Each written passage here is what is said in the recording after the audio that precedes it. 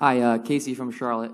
Can you tell me how you weigh front-loading enough capital on the first initial purchase or two versus being more cautious and spreading purchases out at the risk of losing on upside? I mean, I can't. Uh, once we, we start buying, we, we're going to buy.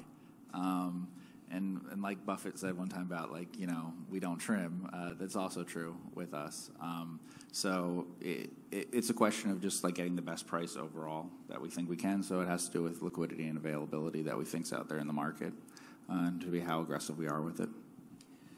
Yeah, so I really don't want to buy into something unless I want to, uh, I'm committed enough to make it a 10% position.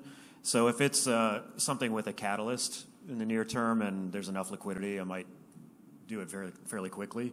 Um, otherwise, you know, I guess something that has been kind of longer term holdings, I might buy in at 5% or so and then kind of look for a dip. Um, and you know, if, if, I guess you're not seeing that, I might might nibble a little bit along the way. Uh, but I think it really depends on the situation. And um, you know, when you're committed to something, you know, to, to Jeff's point, sometimes you just just buy into it and, and go with it. You know.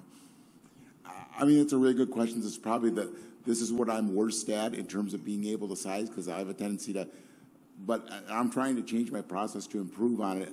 I think it really, as Steve says, depends upon the business and the business model you're looking at.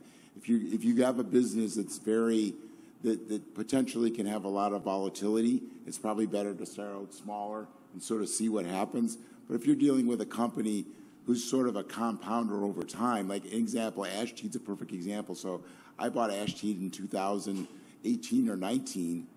I mean, it went through COVID, and I'm glad I bought it and didn't sell it during that time because the business, if you can find these businesses that are growing, they'll grow through this volatility.